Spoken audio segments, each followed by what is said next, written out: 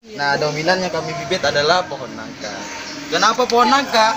Mau tahu alasannya? Silahkan gabung di HPI. Nah, ini dia sudah besar, tinggal kita bagi-bagikan ke masyarakat untuk kita penghijauan bahasa Inggrisnya go green.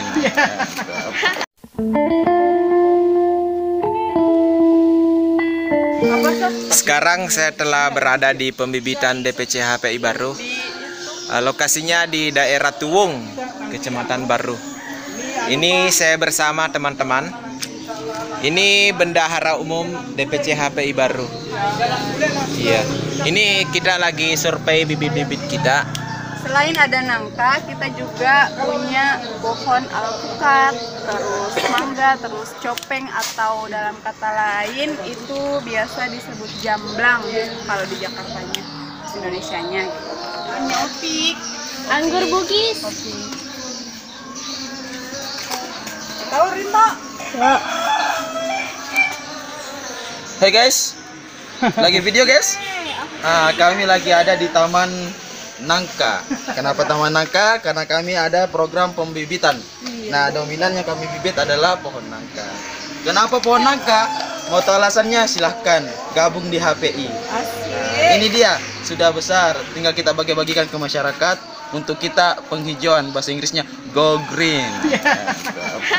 Nah, itu dia tadi beberapa pemaparan terkait masalah bibit-bibit kita di DPC HP ini. Dan ini ada teman juga yang paling kalem. Ya. Ini Saking kalamnya tidak bisa bicara. ini bisa dilihat beberapa bibit yang dipilih dari pohon eh, dari bibit asli ya, bibit alami. Ini dipilih dari biji nangka pilihan. Sangat subur sekali. Ini umurnya baru sekitar satu bulan.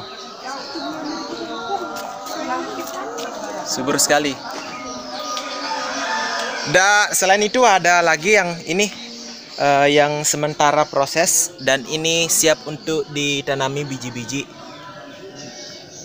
Total keseluruhan pembibitan kita di sini sekarang sudah ada 500 dan plastiknya ini didapat dari eh, bekas minyak.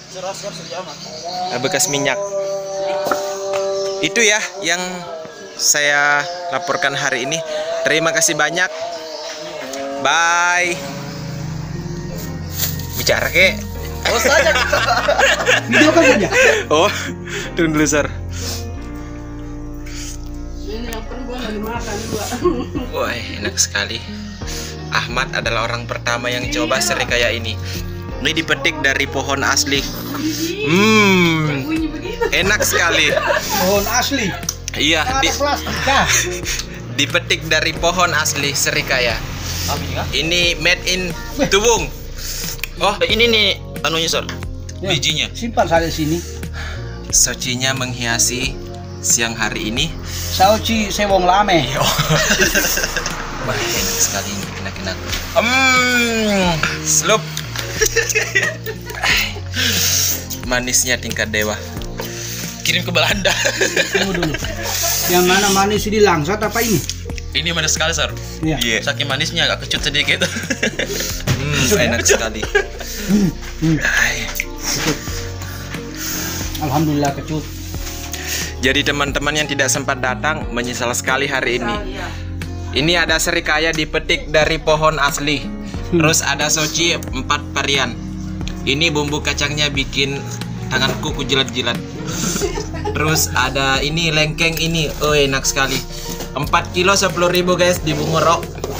Di baru mahal. Ini ada juga nih. eh kata orang Papua batatas nih. Ubinya dua varian. Ini rasa keju sama balado. ya kan? trời trời